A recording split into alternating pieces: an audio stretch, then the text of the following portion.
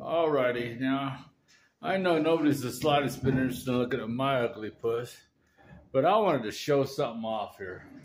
There's a gentleman down in Capula. His name's Enrique. Matter of fact, he uh, he made these these uh, windows when the house was first built back in I don't know what year they were built. Okay. Oh, I'm all blacked out there. Yeah. Okay, there we are. Anyway, we just had the screens made. Enrique's over on the other side of the house over there, uh, putting in another screen for the screen doors.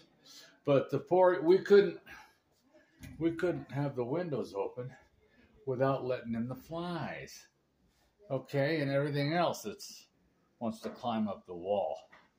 And so cost us a little bit of money, but Enrique made us these screens.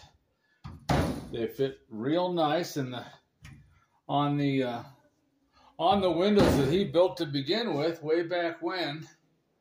All right. And I'm going to put the camera here in front of me and get me out of the way. And here we have Maribel. She helps my wife out with cleaning. Okay, what do you think? Got this handy latch here. Spring latch, spring rollers. And Enrique's busy putting on the, the one on the door over there. They just finished that one over yonder. Ay, caray. And here we come around front. Here's my wifey Pooh.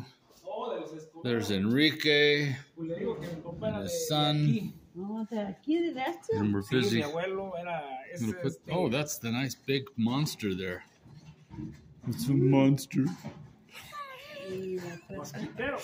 Okay, so anyway, that's the screen door that he's going to put in front of this double screen door, or rather the double door. I've never even opened this darn thing, but it's big enough to get stuff in and out of onto that patio out yonder.